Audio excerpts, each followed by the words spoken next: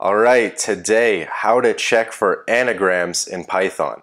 So I have three functions here, is anagram 1, 2, and 3, three different solutions for finding anagrams, and we're going to run through them in detail. Now before we do, let's just refresh ourselves what actually is an anagram. I kind of needed this refresher myself. And so an anagram is a word or phrase formed by rearranging the letters of a different word or phrase. So the prominent example they have here is listen is an anagram of silent. And they have a whole bunch down here and I'll take some examples of these anagrams and plug them into our Python functions here to, to check that everything's working good, right? So I guess let's start with number one. Um, this solution is using the sorted built-in function. So basically we're comparing two sorted strings. And I'll just run it so you can get a feel for it. It's returning a boolean of true or false. If I removed a letter or something, um, it's going to return false. And of course it's not like length based, so even if I have two strings of the same length, they're still not anagrams unless they have all the same letters. So that's how we get true is we have anagrams. So what is sorted actually doing? Um, I guess I'll print this out for you so that you can get a feel for it. Okay, so what is sorted doing? Basically, it's taking a string and it's breaking it down into a list of strings and then rearranging those indexes, rearranging those strings in alphabetical order, right?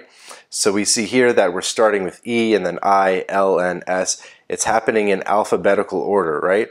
So a string, again, uh, was changed to an alphabetical list of strings, I guess you could say. So that's what's being compared. It's not the string being compared directly.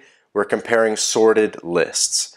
So the, these sorted lists are the same, and that's why uh, the solution returns true. And I think it's fair to say that this is the cleanest solution for checking for anagrams using the built-in function. A couple more things I want to mention about uh, this first function, and they'll actually apply to the later functions, but a couple things. The first is if you were checking for case sensitivity, what you could do is add dot lower here, dot lower, on both strings, both comparisons, so that we are sorting lowercase strings, right? And we can return this again, and that'll return true. And if we made this a capital T, and we run this again, that'll return true. So we have sorted it to lowercase uh, before running it. And if I remove these dot lowers and kept that capital T, when we run this, that's going to be false. So if you're comparing case-sensitive strings, you're going to have to convert that first before you sort it. The next thing I want to do is show you a way to make your programs faster. So imagine you had a really long string, right? Like you're really trying to test the, the speed of this program. What you would want to do is just first check if the length of the two strings are the same. Just a very quick check. And if the length is not the same, it doesn't matter how you're going to sort it um, it's not going to be an anagram. So you could do, I guess, len string 1 equals len string 2. And actually we'll do does not equal. We're going to return false. So this will never get into that statement because uh, these strings are of the same length. And I run that, it's true, listen and silent are the same. Now, if I reduce that length, uh, that's going to return false. And I might as well just put a print statement here so that you can see that we are in the if statement, right? So we're in the if statement. Uh, the lengths are not the same. So this is going to be faster because we never have to do any sorting. We just check the length and we're done, right? So there are two tips, uh, case sensitivity and checking for length. And I guess that's all for solution one. Uh, we can move on to solution two now. All right, so solution two is actually pretty similar to solution one, where we're basically comparing sorted lists. And the only reason I wanted to show you the second one was just say you weren't able to use the sorted built-in function, what you could do instead is create the list yourselves and then sort the lists with the sort list method. So again, we're running um, is anagram 2, this second function, and we can check, and that's going to return true. And if we modify it, that's going to return false. And I guess just so you can see um, an idea of what one of these looks like, uh, we'll just show you list 2. Okay. We run this and again it's that same list of strings that we saw in the first function and if I remove that um, you know we have a different length to our list of strings and we have a true response. So if you can't use a sorted built-in function or you just want to you know understand what's happening behind the scenes uh, we create a list and then we sort that list. All right, now let's move on to solution three. And this one's interesting. This is different from the previous two solutions. Firstly, because we're importing something, right? Uh, we're going to use the collections package and we're going to import counter. And counter is actually pretty interesting. Um, I'll run this right away just so you can see that this returns true as well. And if we modify this in any way, uh, that's going to return false. Okay?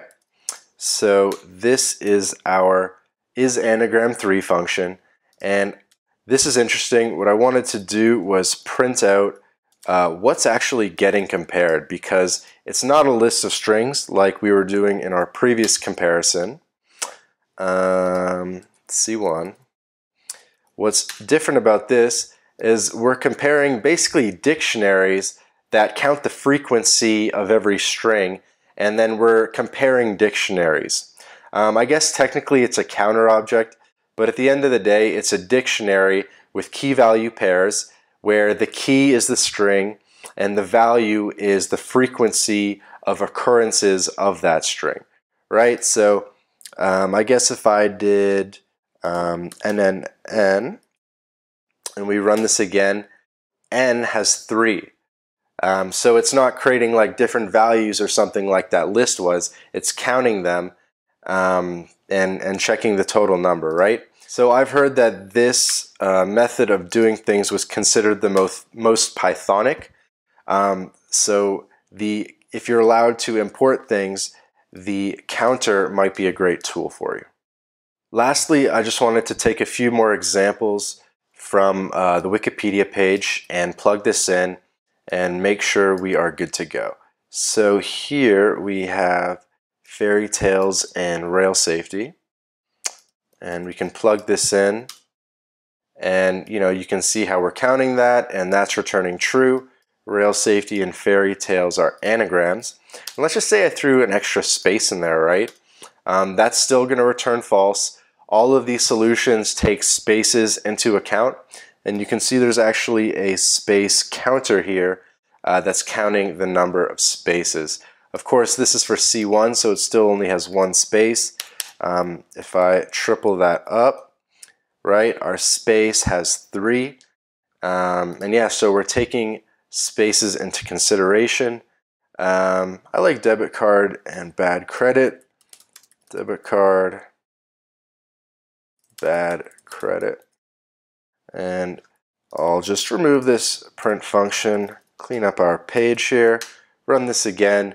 Debit, debit card and bad credit are anagrams. Um, and I guess that's pretty much it. Three ways to check for anagrams in Python. The first using the sorted built-in function. Uh, the second using the sorted method of lists. And the third using the counter. So there you have it. Thanks for watching.